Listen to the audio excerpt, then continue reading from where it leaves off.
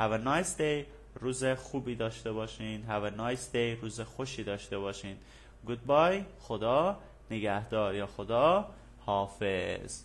اوکی پارت بی listen again and read the dialogues.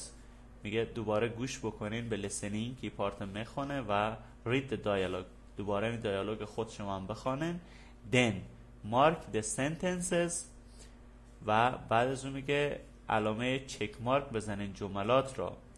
Right صحیح or wrong یا غلط.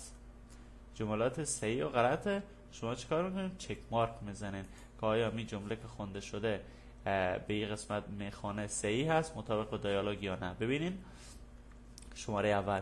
جان and سالی are in room 212 آیا همین جمله که اینجا بیان کرد جمله صحیح هست مطابق با دیالوگ؟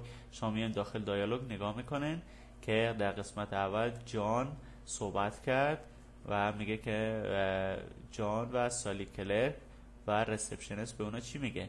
میگه you are in room 211 شما در اتاق 211 هستین. اما این جگاه گفته جان اند سالی are in room 212 جان و سالی به اتاق 212 هم. غلط هست دیگه. مطابق متن میگه که جان و کل... سالی کلرک در اتاق 211 هستن. پس این علامه کراس مقدارن. یعنی علامه غلط. این جمله غلط هست. مثلا به این جگاه میگه breakfast is from 6 to 10 میگه صبحانه از ساعت 6 بجه تا 10 بجه هست. شما داخل متن نگاه می‌کنین.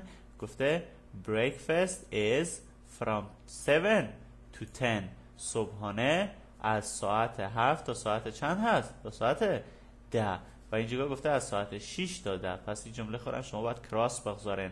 یعنی غلط هست. مطابق به دیالوگ جمله چی هست؟ غلط هست. نمبر 3 شماره سوم. جان and سالی aren't American. میگه جان و سالی آمریکایی نیستن. خب ببینین که اینجا لیز چی پرسید؟ در محاوره سوم لیز گفت Hi are you American? لیز گفت که سلام آیا شما آمریکایی هستین؟